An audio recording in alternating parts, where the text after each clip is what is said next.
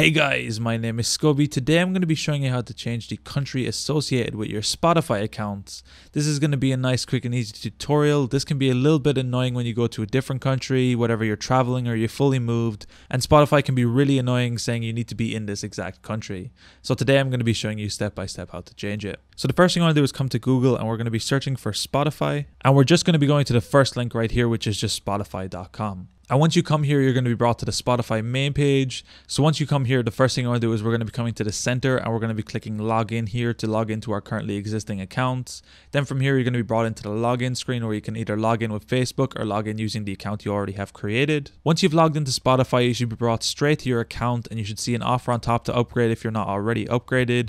But if we scroll down a little bit, we should see some more information about our accounts. And one of the very first things we should see here should be our profile. And here we'll get some information about our email, our date of birth, and the country we're currently in. What we can do here is click edit profile and then from here we should see the country drop down list where we can drop down and select the country. Now Spotify does have one thing where it will only allow you to select the country you're currently in. So it'll do this based on your IP location. So currently I'm in Belgium so currently the only option I can choose here is Belgium. If you want to spoof this in different ways what you can do is maybe install a VPN and move it to another location and that will work just fine. But in this case what you want to do is come here select the country you're currently in and then all you want to do is click save profile and all of your settings settings will be updated. From here, your account will be updated to whatever country you're currently in, and you will have to do this once you go back to the original country or if you ever move to any other country.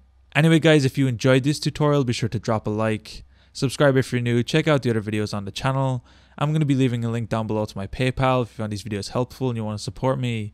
Anyway, guys, thank you so much for watching. Until next time, as always, keep it saucy. Peace.